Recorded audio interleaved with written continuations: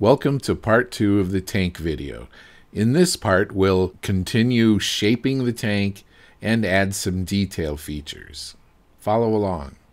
Okay, now I'm going to add another another cutout here. Add a sketch again on this face and this will be an arc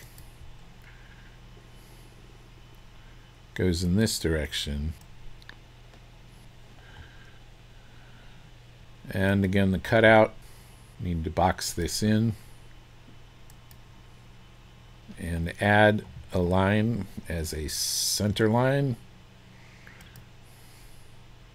Again we're going to make this into construction and also add a dimension. Call it 8 revolve the cut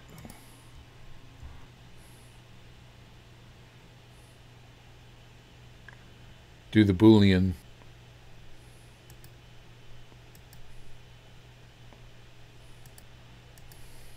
And let's turn off some sketches so we can get a better sense of where we are here.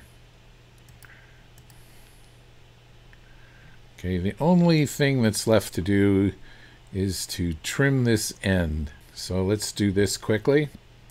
Again we go through the procedure of sketch face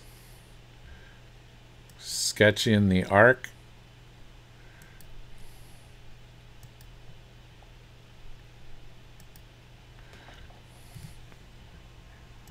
Block in faces for the solid.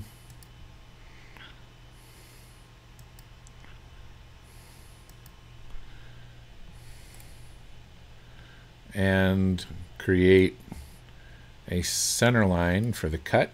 These center lines, by the way, don't need to be straight. You can make a revolve using an angled center line.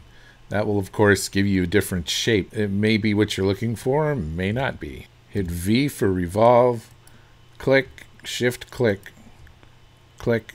Again, we don't need 360 degrees. We just need that much. Done.